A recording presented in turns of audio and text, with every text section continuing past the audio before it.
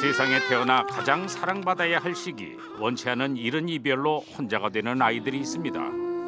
이 아이에게 충분한 지원을 하고 있냐라고 했을 때는 아직까지는 그게 퀘스천이거든요. 그렇기 때문에 이 아이들에 대한 어떤 지원이 조금 더 절실한 거죠. 매년 발생하는 보호 대상 아동의 숫자만 약 4천여 명. 수많은 아이들이 차갑고 두려운 현실에 맞서야만 합니다. 그런 아이들을 위한 120명의 기적. 주저없이 도움의 손길을 내밀고 울타리가 되어줄 사람들이 모였습니다. 그 시작은 바로 이분이었는데요. 어, 안녕하세요. 여수소방서 봉산 119 안전센터에서 근무하고 있는 소방위 김복수라고 합니다. 반갑습니다. 키다리 아저씨 김복수 씨입니다. 여수의 한 소방서에서 김복수 씨를 만날 수 있었는데요. 어느덧 16년 차 베테랑 소방대원이라고요. 창하고 호스를 들고 화재 현장까지 갑니다. 네, 그러기 위해서는 이것을 적재를 잘 해놔야 되죠. 얼마 전 119 소방대원으로서 특별한 나눔 활동에 도전했답니다. 제가 또 119여서 월 11,900원에 119명을 올해 11월 9일까지 모집하는 게 첫 목표였습니다. 지난 4월 28일 날 첫 시작을 했는데 5월 달까지 11명 모집했었어요. 그래서 어, 처음 실패할 줄 알았습니다. 7개월도 채 되지 않은 시간 동안 119명의 후원자를 찾는 건 결코 쉬운 일이 아니었는데요. 실패해서는 안 되겠다는 생각이 많이 들었어요. 그래서 부단히 좀 노력을 했었죠. 그래서 한 분 한 분 다 찾아뵙고 또 한 분을 만나러 갔는데 그 옆에 분이 가입을 해주시고 그래서 거의 한 100명 가량을 실제로 제가 다 만나게 됐습니다. 그렇게 해서 6월, 7월, 8월, 9월까지 해서 9월 28일 날 120명이 9월 28일 날 다 완료가 됐습니다. 결국 아이들을 위한 그의 진심은 다른 이들의 마음까지 움직였습니다. 이런 게 바로 선한 영향력이겠죠. 오늘도 역시나 선한 영향력을 펼치기 위해 바쁜 김복수 씨. 그런데 이건 웬 과자인가요? 아, 또 애들이 엄청 좋아하겠다. 이제 소방사무 과자 생각이 많이 날 것 같아.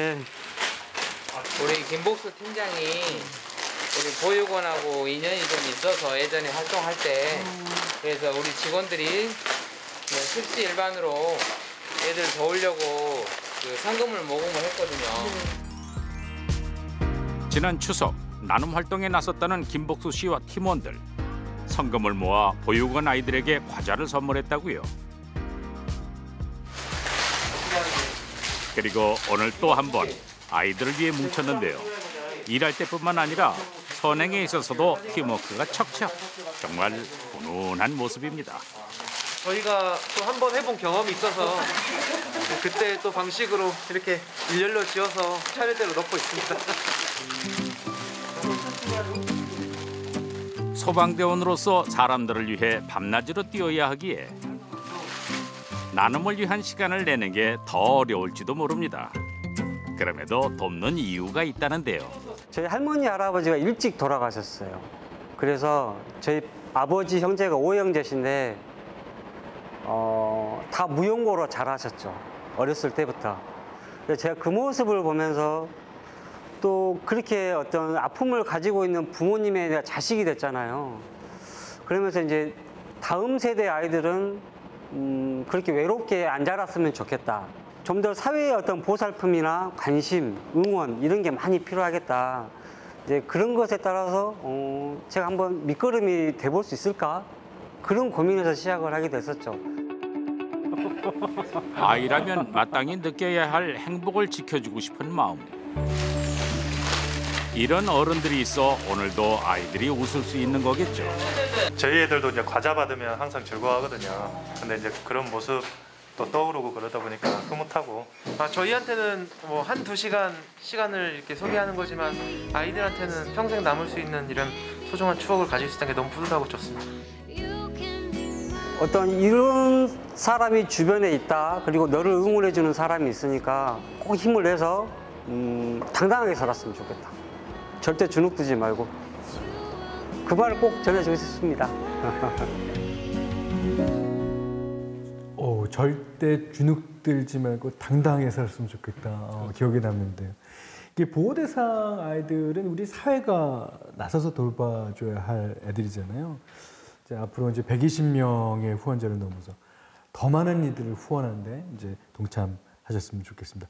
아, 아니 근데 이거 한기범 씨에게 이제 농구를 배운 아이들 그런 아이들을 한번 쭉 세 보면은 한 천 명, 수천 명 제가 이제 아, 선수 은퇴하고 나서 어, 제가 아이들을 무척 가르치고 싶었거든요. 그래서 농구 교실을 하게 되었는데 어, 아이들이랑 같이 뛰어놀고 아이들한테 이렇게 여러 가지 농구 기술을 가르쳐 준 게 너무 좋았어요.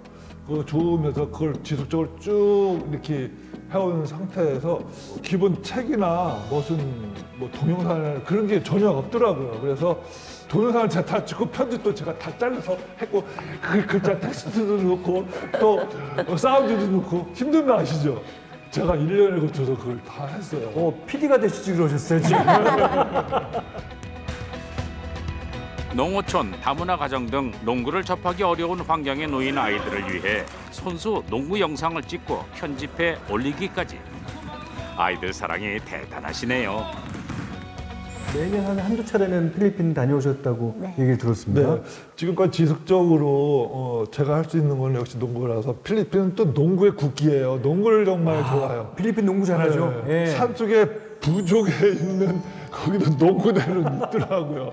야. 정말 농구 좋아하는 나라인데 빈민가에 가서 어, 농구공 또 우리 필요한 뭐 무릎 아대 또 기부받은 뭐 스코어 보드 뭐 농구화 이렇게 가져가서 아이들한테 주면서 농구를 가리키고 눈동 나가고 어, 너무. 너무 예쁘고 그 맑은 농도에 동심에 아우 서울 오면 헤어지고 서울 오면은 자꾸 그 아이들이 생각이 자꾸 나더라고요. 저도 어, 소통을 조금 더 하고 싶어서 음, 지금 이 나이에도 영어 공부를 계속 하고 있어요. 아. 이번에는 가면 제가 열심히 배운 영어 실력으로 그 소녀들과 함께 정말 하고 싶어요. 이 코로나 빨리 끝났으면 좋겠습니다. 네네네. 하루빨리 아이들과 다시 만날 날이 오기를 바라겠습니다.